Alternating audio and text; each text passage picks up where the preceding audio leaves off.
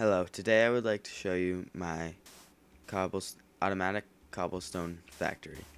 It is completely automated and actually unlike other piston based cobblestone generators it will actually give you blocks not well it will give you the block in entity form instead of like these so how it's based is here is the on off switch which then powers this piston and well these three pistons that rely on the feature of redstone repeaters. So when it is so when this block is powered this repeater will take that power. So it also has it here. And um so after this block is pushed down this piston will automatically push it this way to this piston. And then this piston is set with its own redstone power source and repeater and it will do it there too.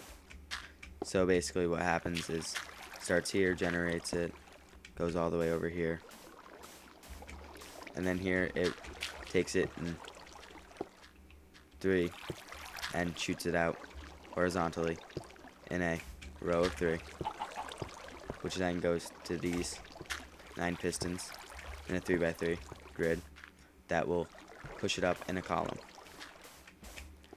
That column will then go travel to here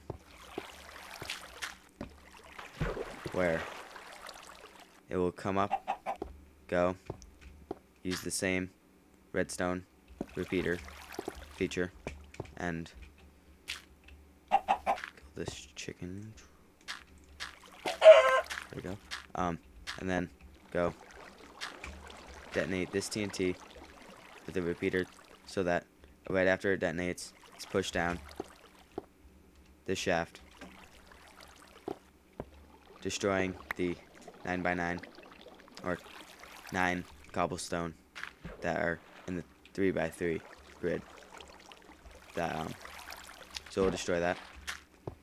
And but before each time when a column is about to be pushed up, these pistons on either side and a piston beneath this.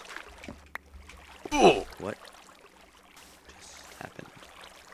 That was a weird glitch. Um, or maybe I left a hole. I'm not sure. Um, let me check. Nope, it glitched out. That's weird. Um, but there's a hole here, and then a piston goes and allows the water to continue that way. And then here is brings it down a trough down to a collection area down there.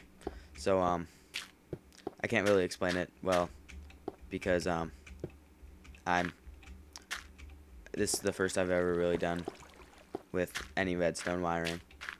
So um, but uh, to explain the uh, TNT reloader right here a little bit after this piston fires and goes back. This is an AND gate with a um, inverter right here. So when it's inverted signal, it will push, make this uh, piston push here, and then it will be delayed with some repeaters. Then this piston pushes, goes back, sand comes down, so it can continue going along this area. So now, um, I guess I will stop talking, and um, I'll let the factory kind of explain itself.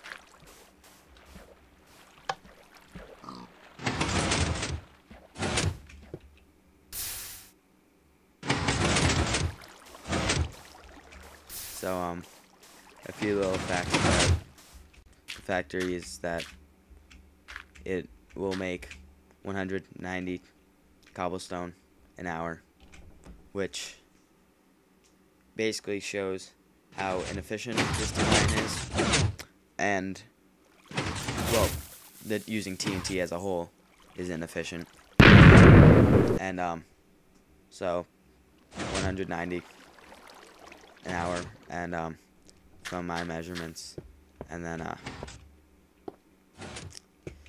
it takes approximately 13 minutes for all the TNT up here to be used and then have to reload it.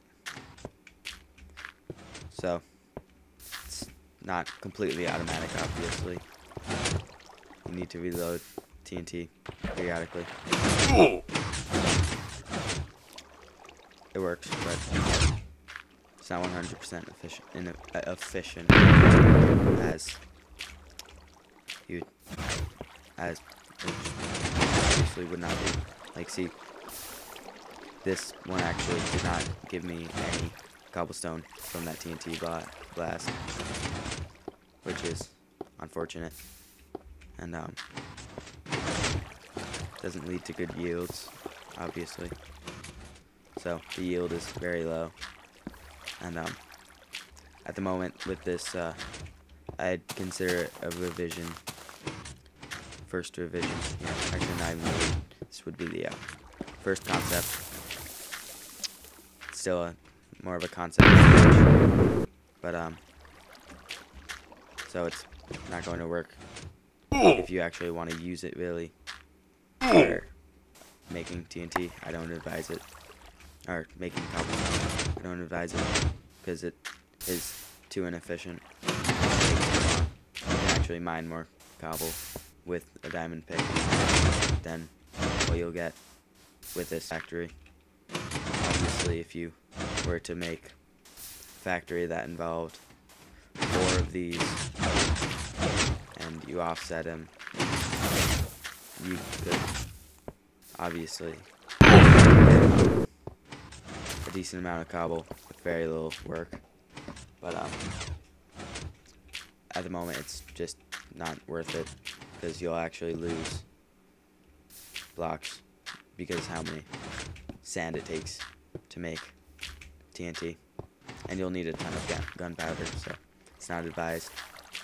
I mean, you can you can do this if you have a, uh, if you live, I guess if you live in a desert biome and you have a massive mob uh, farm, then go for it, and I'll, you can try this.